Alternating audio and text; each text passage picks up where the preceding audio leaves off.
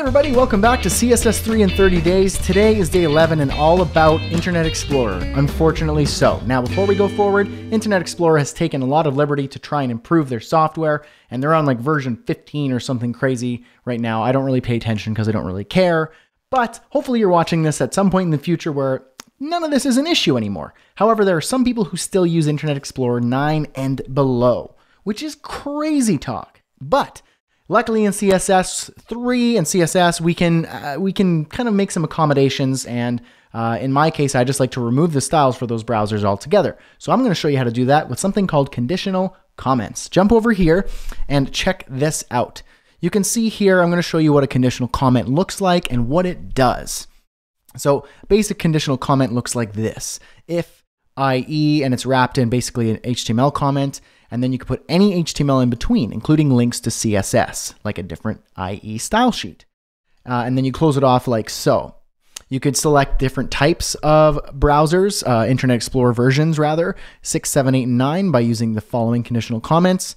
You can use a specific uh, conditional comment for, uh, say, a version of Internet Explorer or lower. So if LTE stands for less than or equal to, IE 6, 7, 8, or 9, that styles Internet Explorer 6 or less, 7 or less, 8 or less, 9 or less.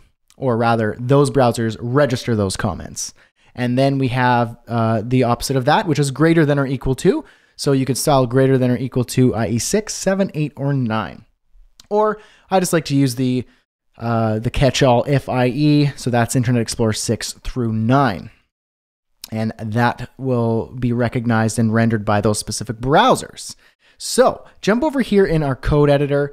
And all we have in day 11, you can go ahead and download that, is an index file and an IE.css file. To run through them, show you what's going on, and then we can be on our merry way and not think about IE anymore. So right here, you can see in the head of our HTML, I have a conditional comment that's selecting IE 6 through 9, and I'm just adding an IE style sheet. So only Internet Explorer 6 through 9 will recognize and render that comment, and then we'll tie into our CSS file, which looks like this. Basically, I'm just, I did an asterisk selector, which is a catch-all everything.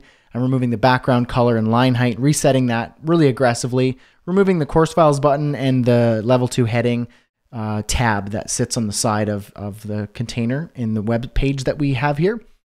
And then I found a complete CSS reset at this link. That's just an aggressive reset. It just resets everything to just basic black and white text.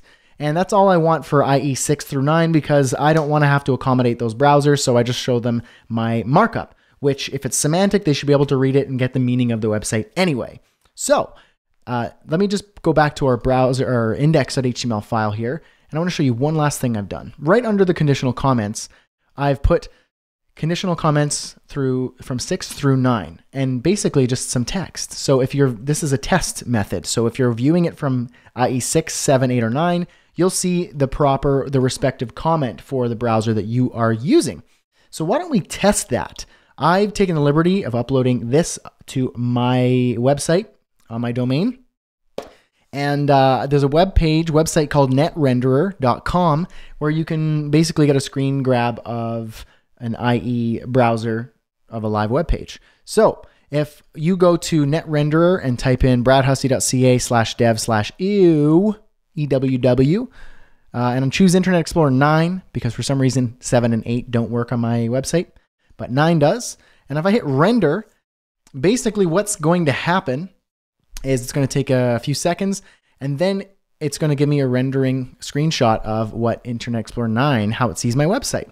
So here you go. It's just basic black and white. It's got the text. You can read it. Uh, and then if you notice here, you're viewing with Internet Explorer 9.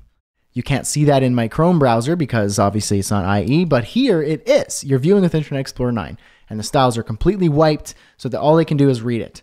Perfect. That's all I really need. So I know that was kind of a quick lesson, but feel free, if you really care, to utilize this strategy on your own blogs and websites. Uh, if you just want to remove the styles altogether, you could do simply what I did. Or if you want to take a little bit more of an accommodating approach, you can do that as well.